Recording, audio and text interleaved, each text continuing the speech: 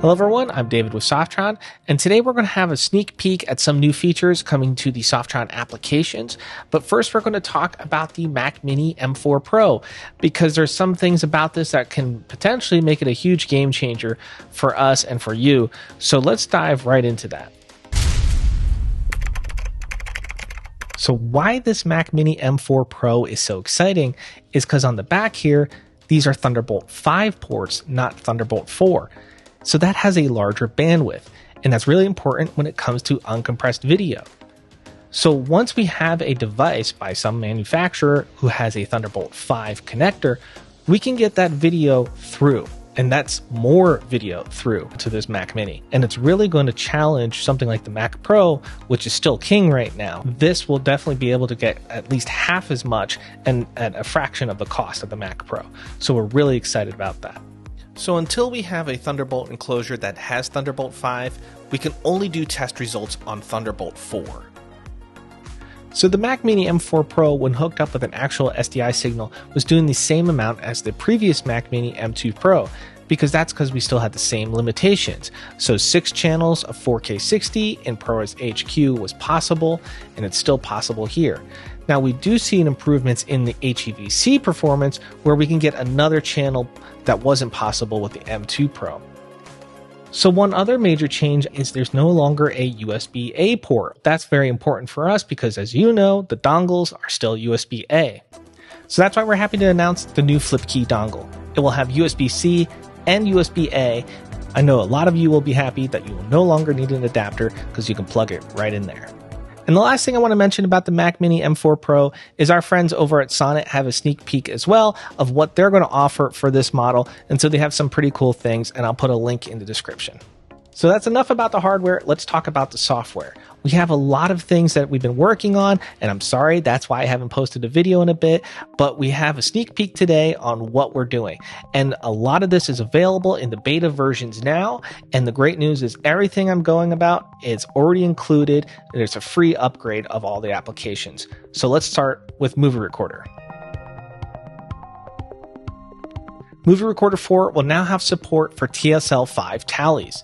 This free new update will send the source name to your multi-viewer. And when you start recording, it will highlight it red. And when you pause it, it will highlight it yellow. And stop, it will clear the tally. The TSL5 tally is available in Movie Recorder 4.6, and that's still in beta as of this video. Movie Recorder isn't the only one to get TSL5. The other application has been requested many times, and that's Multicam Logger. Now we'll be able to get these markers from TSL5 into Multicam Logger to build your EDL. So I know a lot of you are going to be very happy. So that is in Multicam Logger 2.3. That is in beta of this video, but you can go and try it now.